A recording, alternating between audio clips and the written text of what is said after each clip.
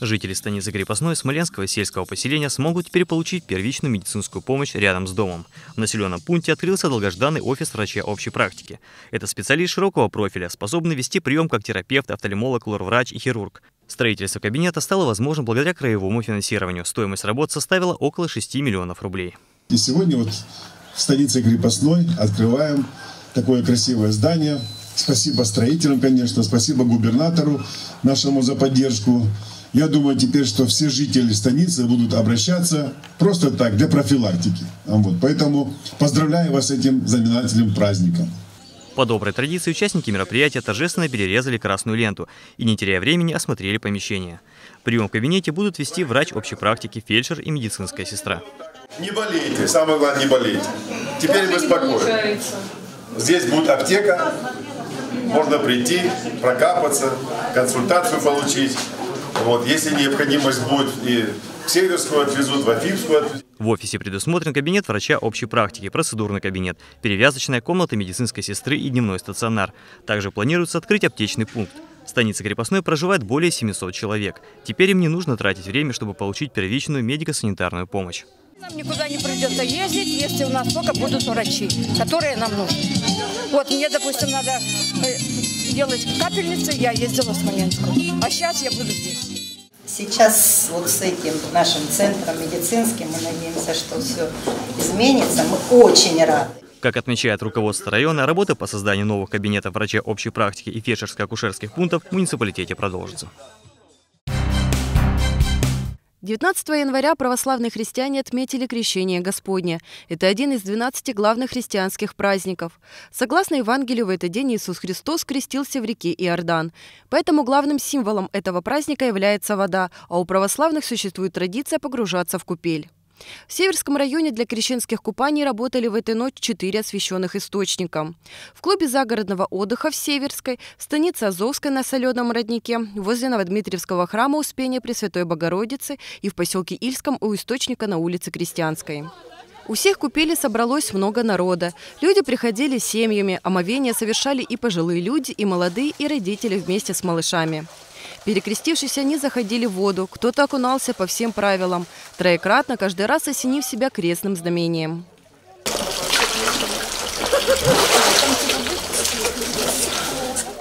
Ильскому источнику более ста лет. Предположительно, его открыли в конце XIX века. По инициативе главы Ильского городского поселения Николая Головко и с участием предпринимателей купель восстановили несколько лет назад.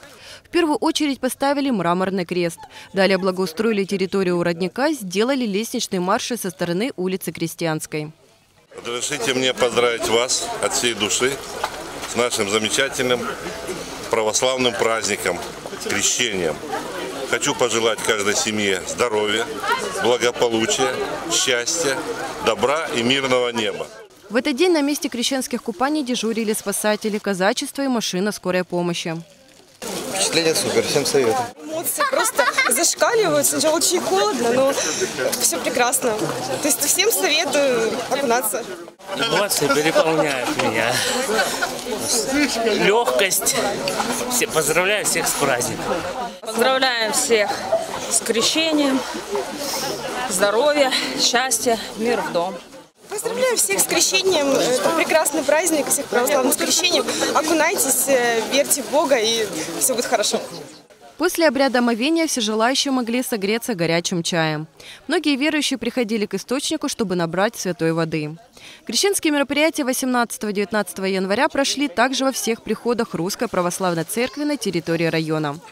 Елена Меркатан, Владимир Галуцкий, ТРК «Атаман». В зале районной администрации состоялась 46-я сессия Совета. В рамках встречи депутаты обсудили итоги конкурса «Лучший орган ТОС», отметив успехи руководителей территориального общественного самоуправления. Согласовали передачу имущества из муниципальной и государственной собственность на безвозмездной основе. Рассмотрели на сессии Совет и внесение изменений в решение Совета от 20 декабря 2017 года о местном бюджете на 2019 год и плановый период 2020-2021 годов. После рассмотрения всех имеющихся вопросов и проведения по каждому из них голосования 46-ю сессию Совета муниципального образования Северский район объявили закрытой.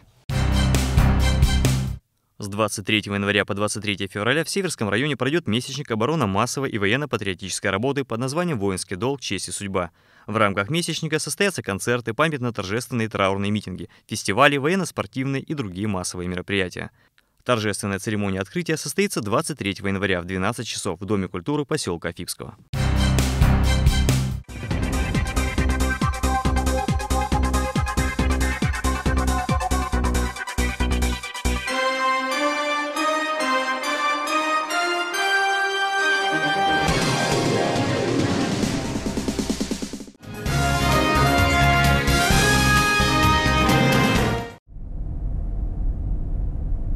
Крупные астероиды последние 290 миллионов лет попадают на Землю чаще, чем предыдущие 700 миллионов лет. Об этом говорит новое исследование, опубликованное в журнале Science. Если конкретнее, то столкновения астероидов с Землей и Луной происходят в 2,6 раза чаще. Впрочем, не спешите с опаской смотреть на небо. Крупные небесные тела в среднем падают на нашу планету раз в один или несколько миллионов лет.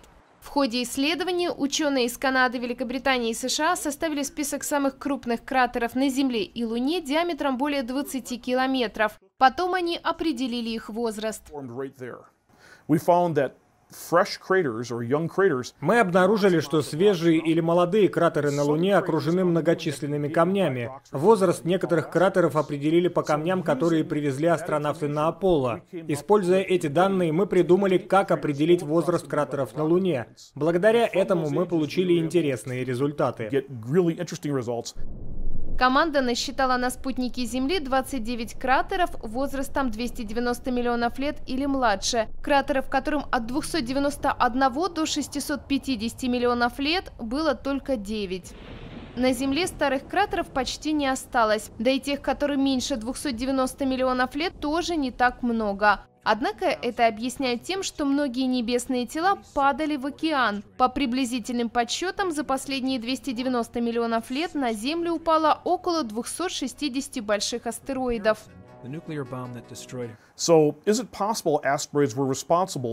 Возможно ли, что астероиды привели к вымиранию видов? Влияли ли они на изменение климата или на состояние разных континентов?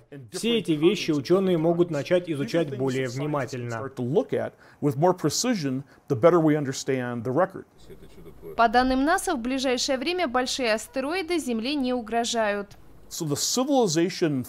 Астероиды, которые угрожают человечеству, должны быть диаметром около километра. Тогда они могут принести значительные разрушения. Если они меньше, то разрушения будут региональными. Ближайшая встреча Земли с крупным астероидом произойдет через 861 год. Мимо пролетит небесное тело диаметром 1,3 километра. Однако с 99% вероятностью в Землю оно не попадет, считают ученые.